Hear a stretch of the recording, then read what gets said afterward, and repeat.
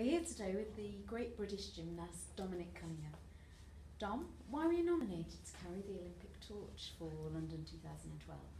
I was nominated as an uprising star for the future from uh, British Gymnastics alongside Lloyds TSB. Okay. So, what originally made you go into gymnastics? What it was it that interested you?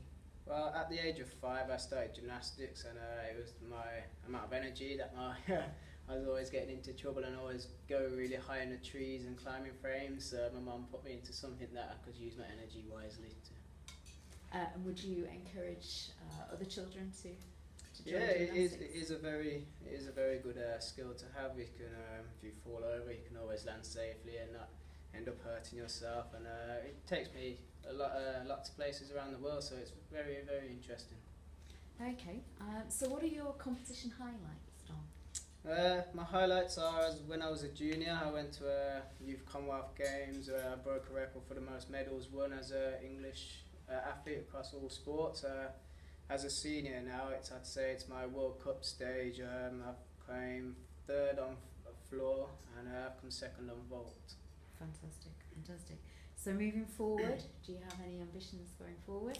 Yeah, uh, it's the main thing. We have to always think ahead, and uh, obviously Olympics around the corner. It's a bit early for me, so my main goals are 2020 Olympics, and uh, I want to start going to some Europeans and World Championships. So those are my main goals to watch.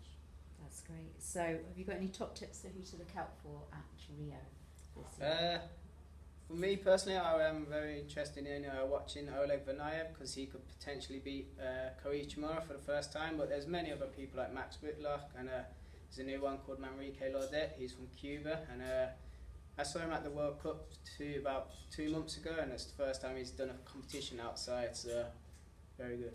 That's great. Thanks very much, Dom. Thank you very much.